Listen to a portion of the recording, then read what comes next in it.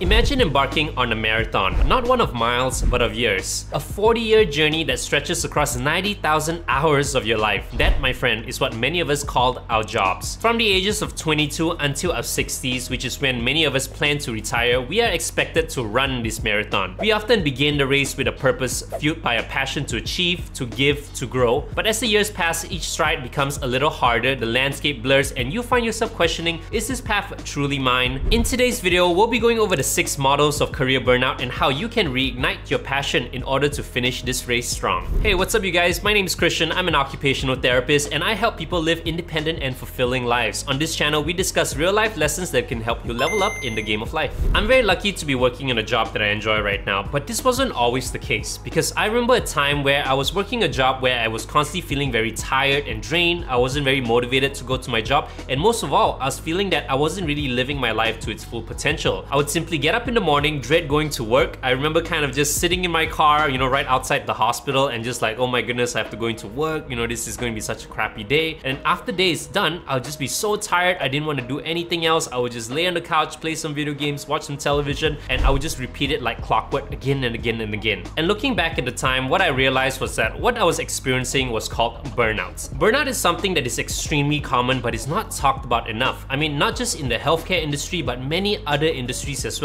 You're constantly seeing people quitting their jobs, going on strikes, just being really, really unhappy with their work. And according to the World Health Organization, burnout is categorized into three different, you know, characteristics. The first is feelings of just energy depletion and just constant exhaustion, where you're constantly feeling tired, not really feeling like, you know, you have the energy to do what you need to do in life. The second is feelings of increased mental distance from your job, like a negative connotation of it. You're not really feeling like you're motivated to go to work, you don't really like being there. And the third is a reduce in professional efficiency when you're working working. Means you're just not really right there when you're working. You're not doing your best job. You're just kind of on autopilot. You're just clocking into work and you're just waiting to clock out. Now keep in mind, all of us feel some of the three, you know, in our day-to-day -day jobs. After all, you know, some jobs are pretty taxing, pretty tiring. But if there's a constant feeling of all three above, then let me tell you that you are experiencing burnouts. The reason I wanted to create this video is because I know many of us are experiencing burnout in our careers. We're feeling very frustrated, you know, for many, many different factors. And what I want you to understand is why you're feeling that way, what you need to do in order to break out of the cycle, and how you can find a career that you're ultimately a lot more passionate about and help reignite things, you know, to make you feel motivated to go to work, to live your best life, and ultimately just be a lot happier in your day-to-day -day jobs. According to research, there are six factors that affect how you feel about your job.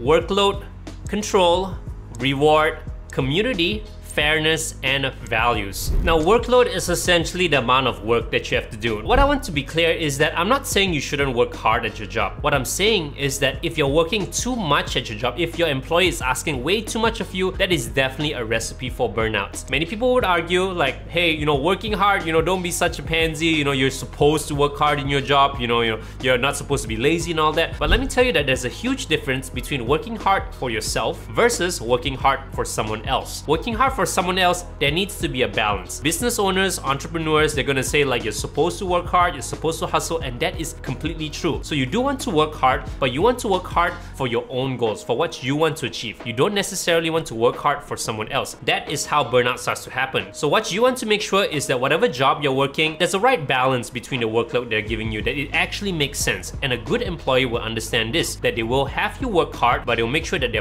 balancing it so that everything makes sense. Number two is is control. And as human beings, all of us want control of our lives. And the problem with a job is that you have to live life by someone else's rules. Now there has to be a balance here because a great employer would understand that they can't micromanage someone too much. They can't really restrict someone's opinions, restrict how someone does things. They have to give freedom to someone to express how they want to do things, to give freedom to someone to express their opinions about things. So if a job is constantly restricting how you do things there, then that can be a recipe for burnout. And as an occupational therapist, I understand understand the power of independence. If your job is not allowing you to be essentially independent in your job, even though you're following the rules, going by the schedules, then that there might be a sign that that job isn't really one that is right for you. Number three is reward. Now, all of us work because we obviously want to make money, but more than just money, we also want recognition, we want achievements. We essentially want to feel that whatever time and work we're putting into our jobs, we're getting something in return. And the tricky thing is this, is that we live in an era right now where there's a lot of inflation, a lot of debt and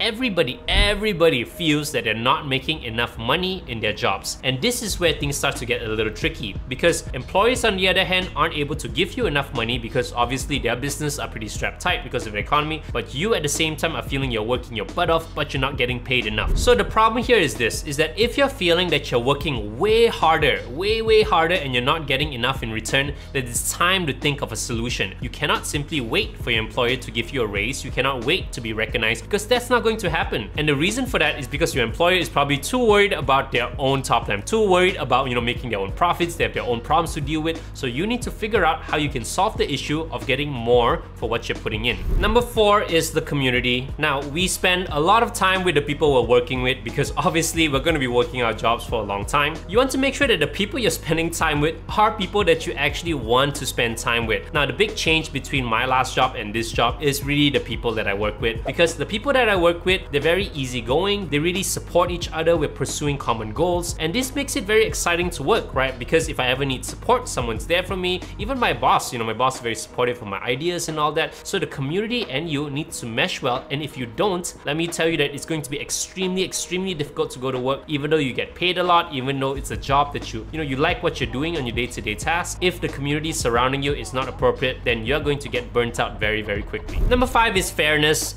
The reason for this is because human psychology, we're constantly comparing ourselves with each other. So if we see a coworker, you know, Miss Susie, who is, you know, working a lot less than us, you know, she's not really doing a lot, she's slacking off, but at the same time, she's getting these big promotions, these big raises, maybe she's, you know, she's sucking up to the boss or whatever. This can make us feel extremely, extremely bitter. And I've seen this firsthand where someone works extremely hard, but they're not really appreciated, while someone who doesn't really work as hard but does the right things are appreciated. This can cause an imbalance because we don't feel things are fair, makes us feel very bitter, there's lower job satisfaction. So we want to make sure that the workplace, the boss especially, whoever is hiring us, is aware that everyone should be treated fairly, everything is equal, and this can help reduce burnout in the workplace. And number six is values. Now, ultimately, wherever we're working, we want to make sure that our values aligns with the place that we're working with. If we're someone that really treasures, you know, honesty, treasures, you know, hard work and all that, but we're working for a company that likes to lie a lot, you know, likes to slack off, then there's definitely going to be some clashes right there. And that's why whenever you start working for a job, you want to be aware, like, what exactly, why are you working this job? What are you passionate about? What are your values there? And if the company that you're working for don't share the same values, then it is very, very obvious that that's not the right place for you. Now, if you're enjoying this video up to this point, I'd really appreciate it if you smash the like button. It lets me know whether this kind of content is something that you guys want to learn about or if I should kind of pivot a little bit. So go ahead, smash the like button if you like it, or better yet, leave a comment below on what you actually did like. And uh, yeah, back to the video. If you're watching this video up to this point, you probably somewhat resonated with some of the points that I shared. You are likely feeling burnt out at your job and you're seeking a way out. And I'm here to tell you that the unfortunate truth is that you probably have to start seeking a better job. And the reason for this is because you're not going to actually change how your employer is going to treat you. You're not going to change your work environment. And most of all, you're not going to change how much you're going to get paid at your job. The only thing that you can control and the only variable that you have any control over is things related to yourself, your own personal development. So I'm going to share three things that you can start doing now to prep yourself for a better career. The first thing you got to do is make sure you identify what exactly are you passionate about your job. What are you going to be good at? What do you like doing about your job because sure, there's a lot of sucky things that's happening. That's most likely why you're trying to leave your job, but you want to identify why you started in the first place. For me personally, I really enjoy the patient interactions that I have, how I communicate with patients. So what I did was I really honed in on that. I really got good at communicating with patients and that helped me in my next job, right? Because ultimately you want to develop some sort of skill, some sort of value. That way you can seek a better paying job. So what you want to do right now is you want to identify what part of your job that you're passionate about that you can get really, really good at and really focus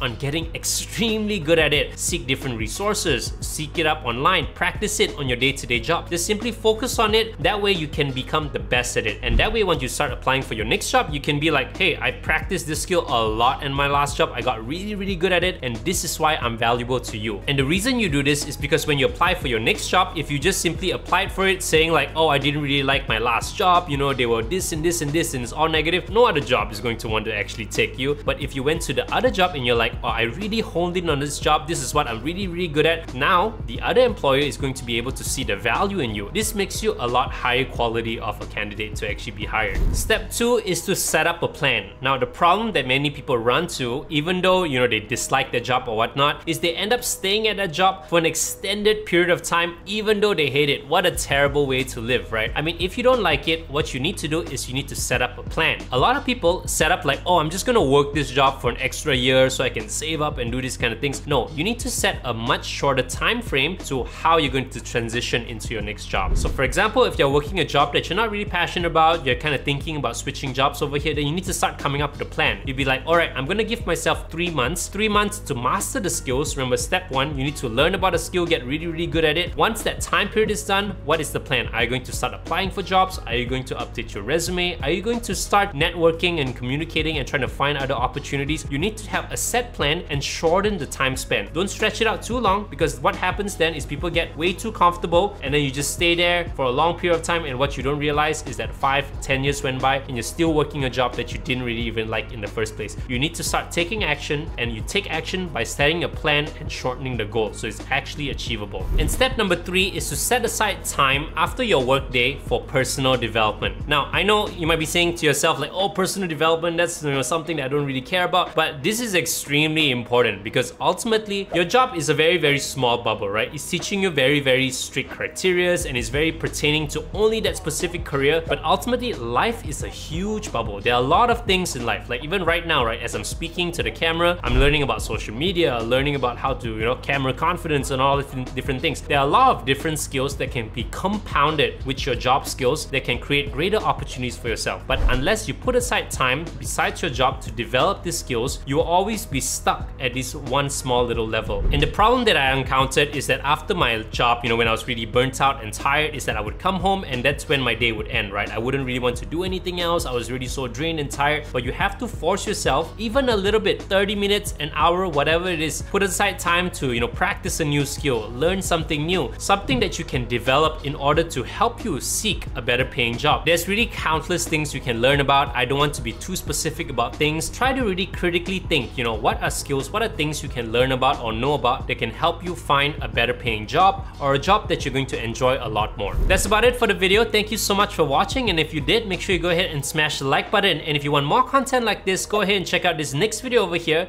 where I shared the 5 secrets for a passionate career. So thank you again and until the very next one, take care. Peace.